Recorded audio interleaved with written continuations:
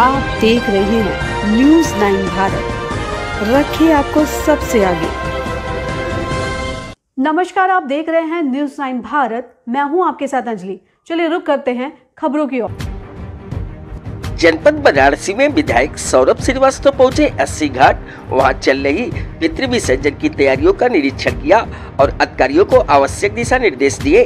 विधायक ने कहा कि पितृ विसर्जन में आने वाले लोगों को कोई भी समस्या न हो, घाटों पर साफ़ सफ़ाई का विशेष एवं उचित प्रबंध करें। निरीक्षण के दौरान विधायक के साथ थे दीपक मिश्रा, अभिकांत सिंह, सुरेश यादव, सूरज गौड़, शशांक सिंह त्रिलोकी शुक्ला प्रवीण शुक्ला व अन्य लोग मौजूद रहे। न्यूज़ लाइन भारत के लिए तौफीक खान की रिपोर्ट। अभी के लिए फ़िलहाल इतना ही काफ़ी। बने रहिए हमारे साथ छोटी से बड़ी खबर जानने के लिए न्यूज़ नाइन भारत पर। अब चाहूँगे इजाज़त। नमस्कार।